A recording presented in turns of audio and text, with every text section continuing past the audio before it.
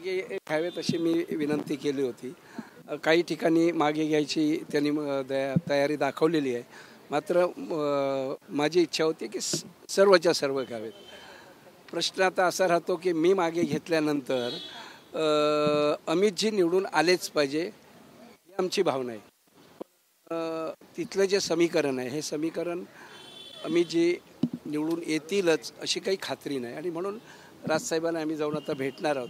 आणि त्यांना विनंती करणार आहोत. आणि जे समीकरण आहे ते आम्ही समजावून सांगणार आहोत त्यांना. मात्र तुम्ही निवडणूक लढवण्यावर ठाम आहात अजूनही अजूनही ठाण आहोत. पण त्यांना त्यांना आम्ही सांगणार आहोत की जे समीकरण आहेत ह्या समीकरणामध्ये अमितजींना निवडून येणं कठीण आहे ते समजावून सांगण्यासाठी आम्ही चाललो आहे. एक प्रश्न असा आहे की तुम्हाला विधान परिषद आणि पहिल्या देण्याचं आश्वासन तुम्हाला देण्यात नाही नाही. मी मी अशा वैयक्तिक लोभापोटी कुठलीही गोष्ट करायला तयार नाही. जर होणार असेल तर पक्षासाठी आणि राज्याचे मुख्यमंत्री एकनाथजी शिंदे साहेब हे पुनश्च मुख्यमंत्री होण्यासाठी जे कुठे काही करायला लागेल ती करायची आमची तयारी आहे. पण दुसरी गोष्ट अशी आहे की अं, किंवा तुम्हाला उघडपणे विरोध करते आहे ही निवडणूक हे हे काही मैत्री खातर काही लोक करत आहेत त्याला अखंड भाजप असं म्हणता येणार नाही.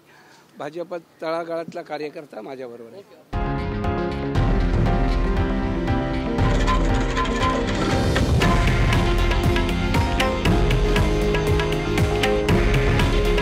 हे आहे देशातील नंबर वन न्यूज नेटवर्क.